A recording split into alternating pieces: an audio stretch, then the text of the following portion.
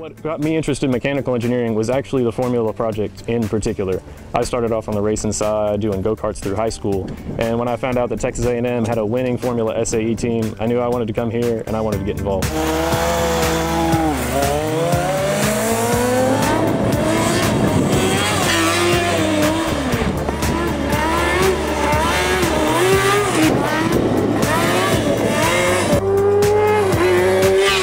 Engineering department runs A&M's Formula SAE team as a senior design project where a group of 15 to 20 seniors get together as a capstone interdisciplinary design class to build and compete with their race car.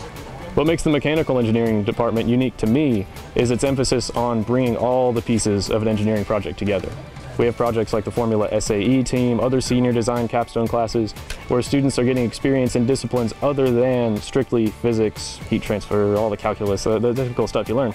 You get exposed to so many different things that by the time you wind up in the big real world, you're ready to go fit in and learn on the job wherever you are. Howdy, my name's Gill, and I'm excited to be a part of the mechanical engineering program here at Texas A&M. Thanks, and gig 'em.